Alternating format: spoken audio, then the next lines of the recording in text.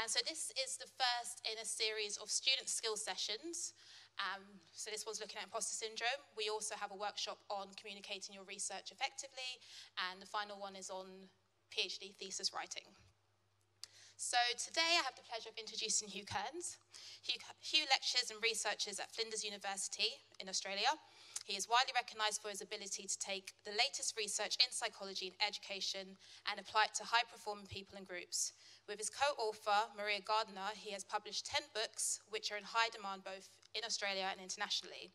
He's recognised internationally as a public speaker, educator, and researcher, and he regularly lectures at universities across the world. He's currently on a tour at the moment. and with his areas of expertise, including self management, positive psychology, work life balance, learning, and creativity. So, can we give a warm welcome to Hugh on this talk on imposter syndrome?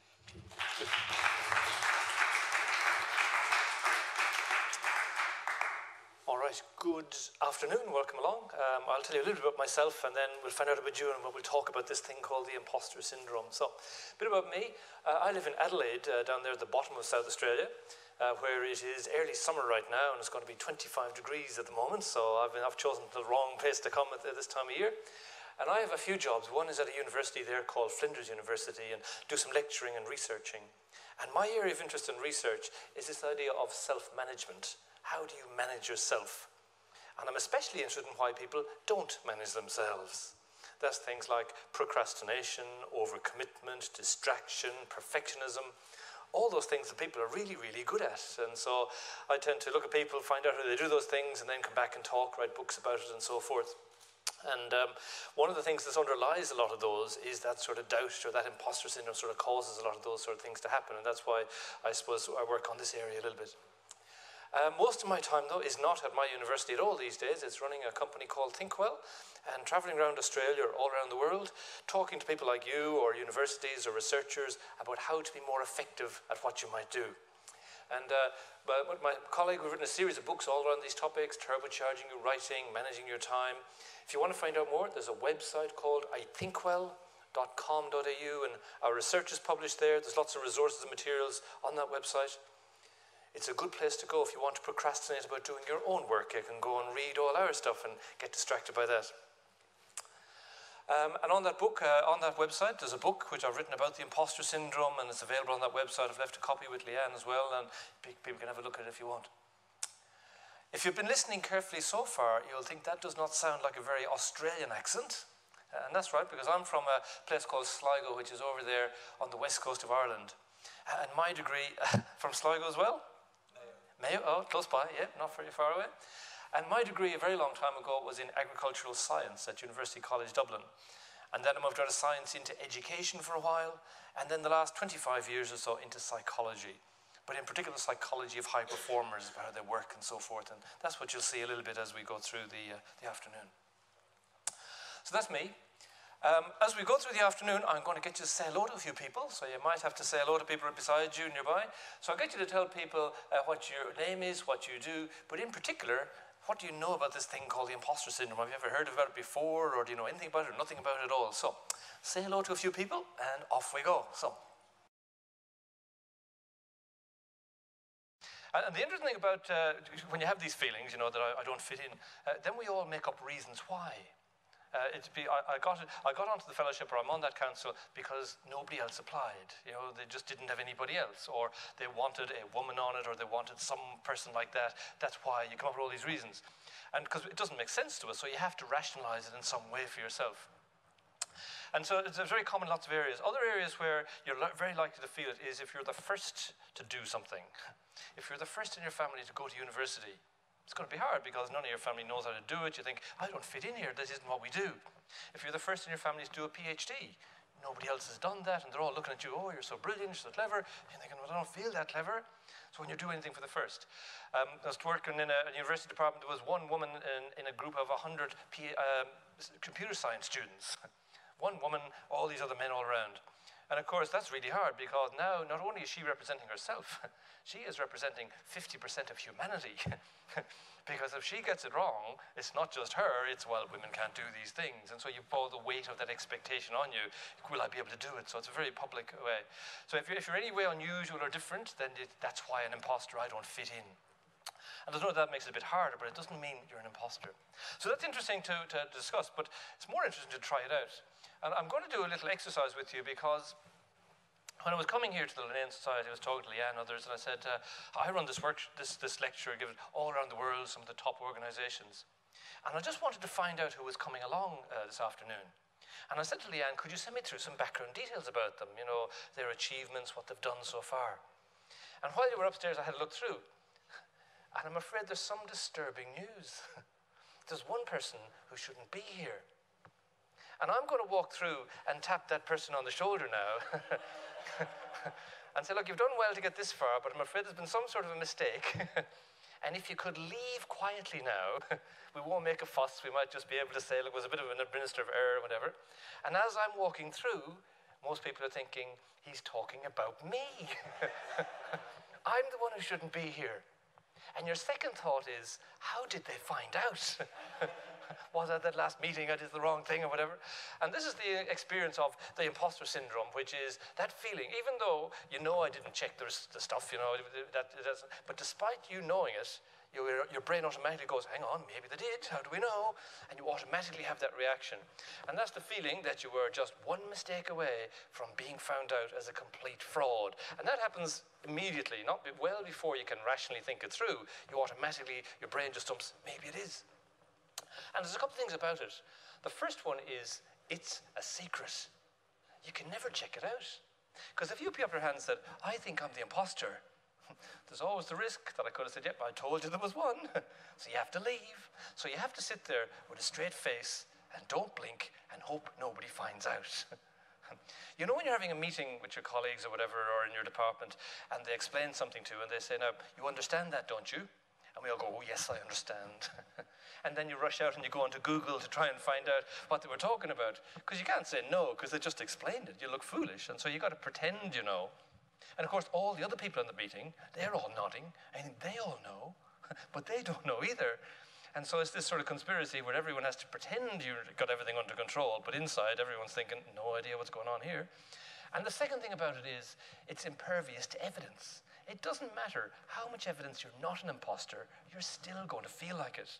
Because that's what people think. Once I get one more piece of qualification, what, then I won't feel like it. But what I'm going to show you is it just gets worse and worse. You know, it doesn't go away. Even despite all the evidence, it doesn't make any difference. You're still going to have that feeling. And so that makes it a bit weird, really, because eh, I want you to think about this. Here you have evidence that you're not an imposter, but you still feel like it. And so that's pretty weird from a psychology point of view. And so what you have to do is come up with pretty weird uh, logic to get rid of this weird feeling. And what we do is we misattribute successes. When good things happen to you, let's say you get onto the fellowship or whatever it might be, you attribute it to luck. I was lucky. I just happened to be in the right place at the right time. I was walking by the door and they said, Will you be a fellow? Or will you go on the council or whatever like that? And so, luck, uh, we attribute all our success to luck. Now, there's no doubt luck plays an important part in all of our lives. However, if you're that lucky that you've managed to get this far in life, you should be out buying lottery tickets. Because clearly you lead a charmed existence. You know, everything's just fallen into your place for you. So uh, luck plays a part, but you had to actually work as well. And there's a little quote that says, the harder you work, the luckier you become. You know, you put the effort in, things seem to happen. The other one is that we, had, we say it was an easy task. I, I know I, I, I, did that art exhibition, that was good, but that was easy, really. Anybody could have done one of them. You know, that wasn't that special. Because, of course, in retrospect, everything looks easy. You know, that problem you were struggling with a month ago, you couldn't find the answer, but then when you see the answer, oh, that's obvious. I don't know why it took me so long. Anybody could have done that. In retrospect, everything looks easy. When you're doing it, it's not that easy. Uh, we attribute our success to other people. Uh, like PhD students do this all the time. Uh, it was only because of my supervisor. My supervisor was wonderful. They did most of the work anyway. Or you're part of a group. It was the team who did most of the work. I was just going along for the ride, really. I didn't do very much at all. Uh, and women in particular find this uh, hard to own their own successes. They will attribute it to other people around them and say, it was the other person did this thing. Now, of course, your supervisor or people around you do have a role to play, but you have to do your part as well. It's not all about the other person. Uh, that was then, this is different. Yeah, I was successful then, but that's a completely different world. I've now moved into a new situation, so none of my past experience matters at all. And of course, your situation is new, but the fact you were successful before is a bit of a predictor for your next thing as well. So the fact you could do one thing well means maybe you could do the next one well as well. But we say, no, it's a different situation, nothing works at all. I've written about 10 books on these topics, and uh, every time you write a book, you think, I wonder, will this one work? Oh, no, this is going to be awful. Despite the fact the other ones seem to be successful, maybe this one will be okay as well. But no, we go, oh, no, that doesn't count at all. It's a different area. And then the last one is a really nasty one. It's uh, you do you, you're successful, but that was only because I worked so hard. I had to work ten times harder than everybody else. And that just proves how stupid I am because if I was clever, I should be able to get up and do it without effort. Because not only do you want brilliance, but you want brilliance without effort. Because that's what we assume other people do. Other people can just sit at their desk, waft their fingers over a keyboard, and a nature article comes out the other end, or a best selling novel. Well, that's really nice, but that's not the way it works in reality. But that's what our brain is. If you work hard, it just proves how slow you are because you're just a dullard. You should be able to do it easily. So I'll give you a moment. Just tell people which is your favorite way of getting rid of evidence you don't like. You know, somebody says, "Well done, you've done a good thing." How do you diminish it or get rid of that evidence that you don't like? So, tell people what's your favorite way.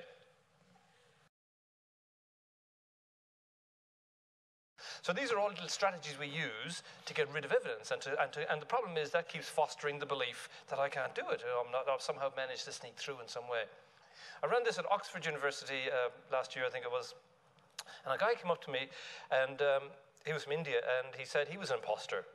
I was asking him why. And what had happened was he had applied to Oxford the previous year, and he hadn't been successful. So he had to go back, go through the process, and apply again. And he got in the second time. But of course, that was no good at all because he should have got in on the first time. They just give it to him because he was persistent. You know, he just kept knocking on the door enough they're going to give it to him, despite the fact that he was there on merit. But that's the thing, because really clever people get in the first time. You know, I, I remember one woman in Australia, she won some prestigious fellowship or in her university. But the problem was there were four fellowships, for instance. Uh, she had applied, and she was number five. But one of the first four didn't accept the fellowship, went somewhere else. So she got moved up. But she said they didn't really want me at all. You know, they only gave it to me because someone else didn't want it. And so, despite the fact, you know, she's got it, she's earned it, but no, it's because they really wanted to give it to somebody else. Another one that happens when you, you apply for a job or get a promotion is nobody else must have applied. they couldn't find anybody else. You know, that's the thing. We, we assume if they've chosen me, it was must because there was no one else around. So these are, these are unhelpful because they take away your success and they start making you believe maybe this is true. And so uh, when uh, you do, uh, one of the ways to notice this is when you get a compliment and people say, oh, it was luck, anybody could have done it. That's not very helpful. So when you get a compliment, the next time all you have to do is say, thank you very much. you don't have to minimize it and say it was nothing, you just have to say thank you and move on from there. So um, we're now going to look at how people respond to the imposter syndrome or these feelings. And uh, again, you might notice a fraud in there, but um, there, there are two strategies. One is work really, really hard. Just work 10 times harder than you need to. Or the second one is avoid. And we'll look briefly at both of them. And the first one is uh, working hard. And I have a little model I describe called the imposter cycle. And what happens is you start off here feeling like a fraud, I'm not okay, I'm not so good. And, and, as human beings, we love to have reasons for things. Why do I feel like that? So we have to look for reasons. So we look for a reason. And if we can't find a real reason, we just make up reasons. We just make up random reasons, really. And let's say you're working with a group of people, and they all have a qualification or some sort of a certificate. And you're thinking, I know, they all look okay. They've got a certificate. If I had a certificate like that too, then I'd feel okay as well, because that must be what it is. And so now you sign up for the certificate and you work hard to achieve the target. And so now you still feel like a fraud, but now you've got hope. And the hope is once I graduate or get the certificate, I'm going to feel okay, I'm going to fit in. And so you work hard and you actually achieve the target. You get your qualification or your certificate. And then you get a momentary pleasure. And the momentary pleasure usually lasts as long as it takes to walk from one side of the podium to the other side with your certificate. Because when you get over to the other side, the glow wears off and you still feel like a fraud. And now you've got a certificate and you still feel like a fraud. so you still feel like a fraud and you have to look for a reason. And the first thing you must do is discount the previous reason and say, that was the wrong certificate. what I really need is a diploma. If I had a diploma, that would really work. So you decide to sign up for a diploma and you work hard to achieve the target and you're doing really well. And as you get to the end of the diploma, you say, well, the diploma is just a starting point, really. What you need is a bachelor's degree. So you decide to sign up for a bachelor's degree and you go really well in the bachelor's degree and you get to the end of that and they're saying, oh, you're doing really well, but what you really need is a master's degree. That's what anybody clever has to have because you, are hanging around with these other people who have this thing called a master's. So you think, I better sign up for one of them. So off you go and you sign up and get your master's and you think, now I'm going to make it. but as you get to the end of the master's, they say, well, what you really need is the PhD because you're hanging around with these other people who look really clever, who all seem to have a PhD, and think, I need one of them. So you sign up, know, that, that's the highest you can go, surely, at that point. So you sign up for the PhD, and round you go. But as you get to the PhD, they say, well, but the PhD is just the start, really. You really need to do a postdoc, or you need to get a PhD and four papers, or whatever it is. You're just starting the business. Because, of course, towards the end of your PhD, you're hanging around with really clever people now, you know, really smart people. And so the bar keeps going higher and higher. And that's how you can be really successful, but still feel like a fraud all the way around. And in fact, you know, this, this part here, this is where you can be really successful. It makes you work hard. And in fact, in fact, after a while, people begin to think the imposter syndrome is what makes me successful. and it's the only reason I do things to prove that I'm not a fraud. If you took away my imposter syndrome, I would just lie on the sofa all day watching daytime TV. You know, I wouldn't have any reason to get up in the morning. And the reality is, if you want to go and do these things, just do them because you want to do them, not because it's going to get rid of the imposter syndrome or the feelings, because it isn't. They'll still be there. At the end of all that, you'll just have more qualifications, more experience, but you're still going to feel the same at the end of all that. So the, where, do you, where do you go with this? What you have to do is go back to that square up there, feeling like a fraud, not okay. And what I'm telling you is, that's fine. Get used to that feeling. It doesn't go away. Everybody feels like that occasionally. You don't have to go and get rid of it. If you want to do something, do it, but not because of getting rid of that feeling, because it isn't going to work anyway. And so that's the problem is we think um, I have to, one more thing, then I'll feel okay, or then it'll all work out. So I'm going to give you a moment now. Tell people, uh, can you recognize the imposter cycle? You might have been on it a few times yourself. Qualifications, experience, awards, all those things, round and round you go, gathering more and more trinkets along the way, but still feeling like a fraud. So tell people, any, any experiences of the imposter cycle? All right. So that's the imposter cycle, how you can be really successful and still feel like I don't fit in. The other way of dealing with it is to avoid being found out. Avoid putting yourself into situations. And again, there's a few ways to do that. Uh, the first one is uh, just don't try at all. You know, don't apply. If you don't apply for a job, you can't fail. And so, you know, just don't bother at all. And so that's a fairly easy strategy. I'll see that regularly with people. I might work with somebody who says, I want to apply for a new job or promotion, but they never seem to apply. And then a job appears in the paper and you say, why don't you apply for that one? And they'll go, oh, they have all these reasons why they won't do it. It's the wrong time. Oh, there's one criteria I don't meet. Someone has already applied for that. the real reason is if they applied for it and didn't get it, it would be devastating. So it's better not to try at all. If you don't put your hand up, you can't get found out. Because the concern is if I apply, I don't get it, they'll realize I'm a fraud. So just don't try. The other one is uh, don't try hard. You might get involved in something, but you don't try. And I see that with students all the time secondary school into high school, you got a clever kid, uh, they could do well in the exam, but they don't try. And then when they fail, well, it wasn't because I was stupid, it was because I didn't try. So it gives you an excuse.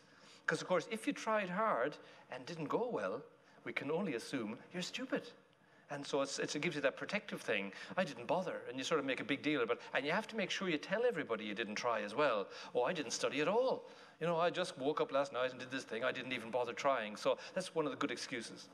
Another one is to procrastinate. And that's where you put things off. And how that one works is, let's say, again, you have a, an assignment or a task due on Friday, next Friday. so you leave everything until late on Thursday night. And then you pull an all-nighter and if it doesn't go so well, you can say, well, I only started last night, if I had more time, I would have done really well. Because again, if you start early and work all the way through and it doesn't work out, we can only assume you're stupid or not capable. So by waiting to the last minute, you have that excuse. A lot of people say to me they work best under last minute pressure. what they should really say is, I only work under last minute pressure, never tried anything else. Maybe if you started earlier, it might actually go well. And the last one is overcommitment, and that's a good one as well. So that one, how that one works is, again, you have some task you'd like to do next week, but uh, you, you take on all these other commitments. You know, somebody doesn't turn up, I'll do their job, I'll take on all this extra stuff. And then when it comes to Friday and they say, where's your thing? Well, I couldn't do that, but look at all the other stuff I had to do. And so that gives you an excuse. Uh, I couldn't do it because I was so busy. And it's good if you make lots of worthy causes, you know, save the whales, save the trees, help little old ladies across the road. You've got all these worthy causes, and people say, Well, I can see why you didn't do that because you have all this other stuff. But it gives you an excuse. They can't find out because I have all this other stuff going on. So that's how people avoid being found out. They sort of throw people off the scent by having other reasons. It's not my lack of ability, it's this other stuff, and that protects you from that. So Joe was saying, uh, what do we do about this? We've discovered what it is, but what do you do about it? So I'm going to go through a few strategies with you. And so I'm going to give you 10 different approaches, and I might get you to think about which one works for you. But, but the first one is begin to realize imposter feelings are normal. It's not some disease you have or some sort of genetic uh, inability. It's normal. Uh, what I'd be saying is most people will feel like that when you come up into some new situation. So it's pretty normal.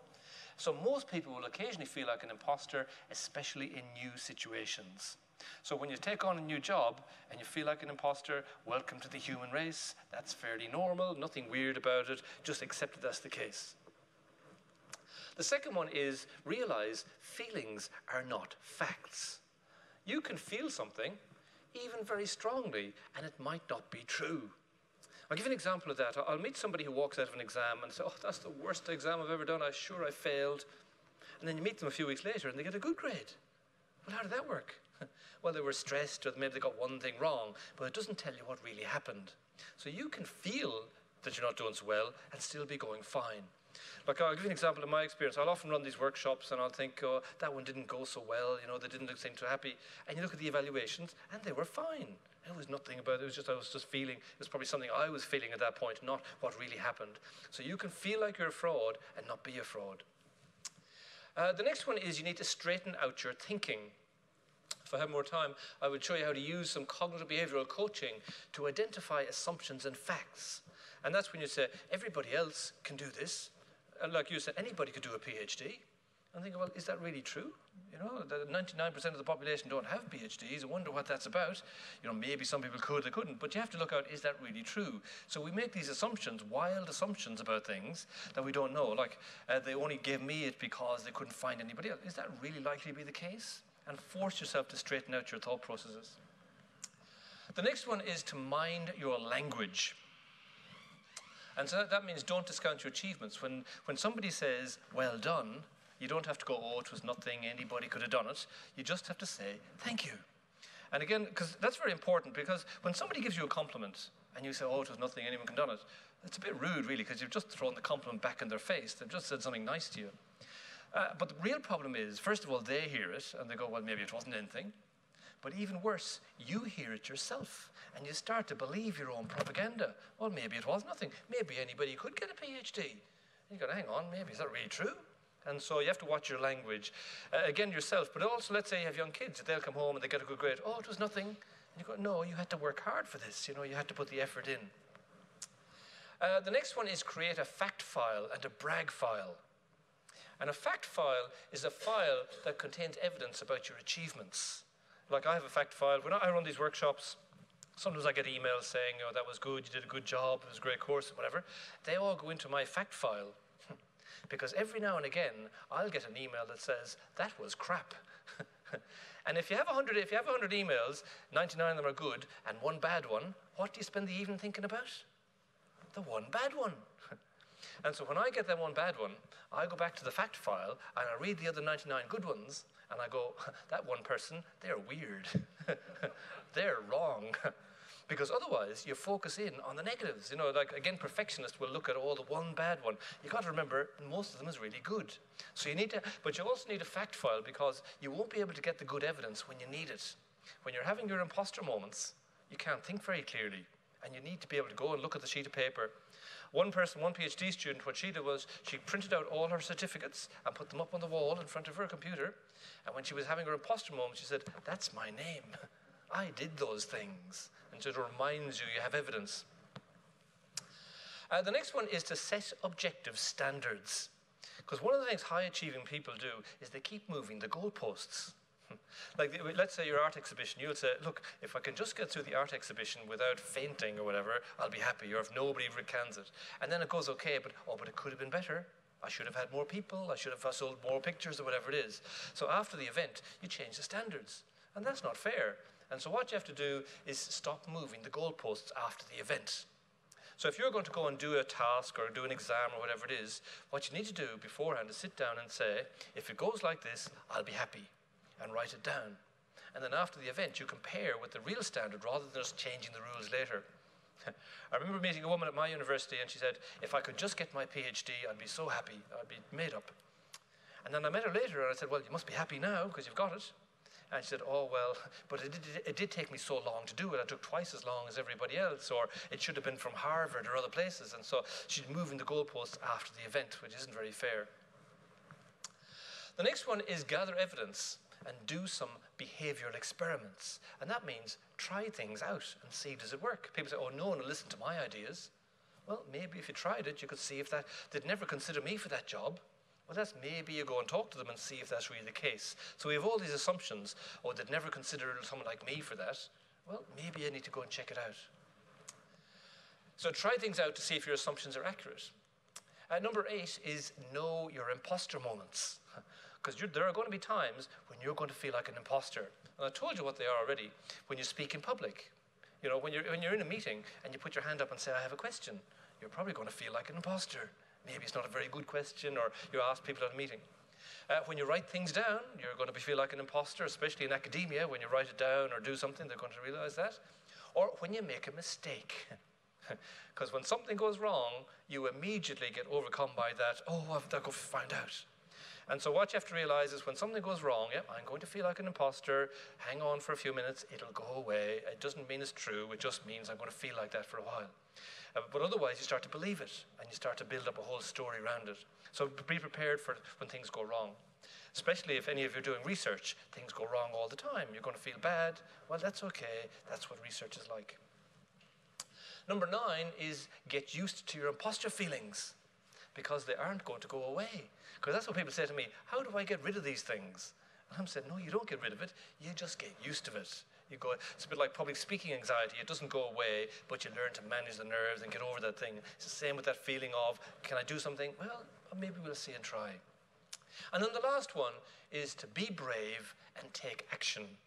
Because you can spend all your time doubting yourself, wondering, can you do it? But at some point, you just have to jump in and have a go. And I like this quote. It says, uh, A great deal of talent is lost to the world for want of a little courage. And I'm sure you know people, either yourself or other people, who have great abilities and gifts, but they never want to take the risk and try it out. Which is a bit sad for them, but also for the rest of us, really, because we miss out on their gifts and abilities because they just, they're just too afraid to take that step and jump out and do it. So they're the, the, the 10 strategies.